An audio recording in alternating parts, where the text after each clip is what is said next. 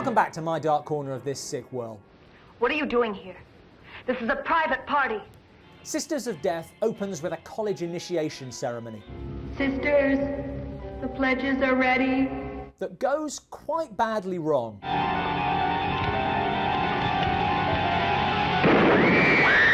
Actually, it's hard to see how it could have gone any worse. A tragic but accidental death. Seven years later, the girls have grown up into diverse, well rounded characters. The hippie, The spirit of truth tells me it is wrong. the fallen woman, Do you have a wife? the kooky one, You know, I always knew there wasn't any truth to that police brutality stuff. the slutty one, Strange cars are my specialty. and average Judy, Holy, she looks great. who is our way into the story. They all receive an invitation to a college reunion so they can relive those happy, carefree days when they accidentally shot their mates in the head. They must be insane. But when they get to the meeting point, all they find is two guys waiting for them. And we're going to drive you to your destination.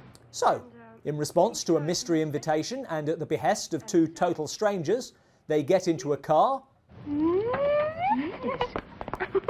With blacked out windows to go they know not where. I want to know where we're going. That would have been a good question an hour ago. Smart check. Arriving at a compound surrounded by an electric fence, and still finding nothing suspicious, the girls settle in. We don't need a bathing suit. I mean, we're here alone, aren't we? Are we? Well, of course we are. You've been delivered to a remote house where there is a welcome sign along with food and champagne, and you think there's no one else here? Separate bedrooms with our names on each door and a bathing suit for each of us. Seriously, still nothing? This isn't striking anyone as odd? I don't care who planned this. Of all the dumb things they do and the questions they fail to ask, the sisters' blithe acceptance that this whole reunion was set up by a casual well wisher they've never met is still what I find most baffling. No, but I just feel a little weird about this whole thing. I imagine most of you can guess who brought them here. But surely you haven't forgotten my daughter. Oh my God, it's Mr. Clyburn. where this is going, One dead girl and four potential victims. and what happens next. But what's irritating is that even once you've bought the girl's total lack of suspicion, Looks to me like someone was expecting us, girls. there's still so much more to buy. Are you kidding me? The guys need to get in to provide love interest. Nothing, right? Boy, you really are horny, aren't you? Oh, switching on your electric fence is Maniac 101.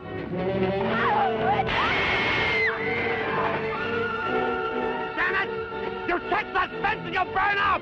Now it's on, they're trapped. Except the fence isn't really that high. Get a table, stick a chair on it, you could just hop over. Just that I can't seem to come up with any good escape plans today. In fact, that tree you're sitting under is way taller than the fence it's next to. You're lying. This happens the morning after the first death. When it gets dark, that joker up there is going to be able to get to those girls. All better act quickly. The whole day passes and they do nothing, and not just them. The vengeful father is apparently quite happy to wait. Tomorrow, Judy. Tomorrow, everyone will know everything. Although he may be relying on his trained spider.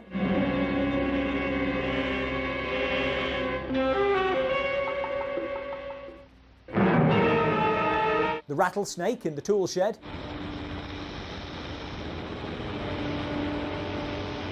And just plain stupidity.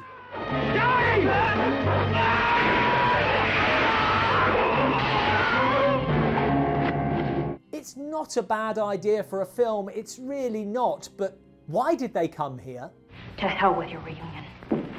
Why don't they leave? You're not leaving. Not yet. And why does the father put vengeance on hold while the woman who murdered his daughter offs the potential witnesses one by one? One surprise after the other. It's fantastic. Like the rest of the movie, the twist is visible from a pretty long distance, but it's still a decent twist. I made it.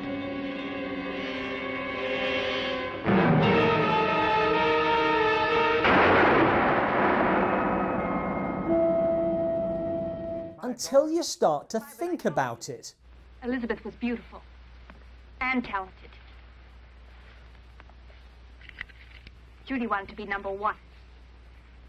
She couldn't while Elizabeth was alive. If that's her only motive, then that is one cold blooded killer.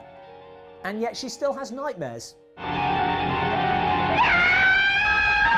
More importantly, who goes to the reunion of a college where you killed someone? I thought it was a good idea. All that stuff earlier about how incredibly suspicious this all is takes on a whole different complexion when you know one of the girls is harbouring a secret like that and still goes. It's been quite a reunion. Just RSVP no. You're really upset. Thanks for watching. For more in depth discussion of this film, join us on Patreon. What other movie characters would have been safe if they had just exercised like this much common sense? Let us know in the comments below.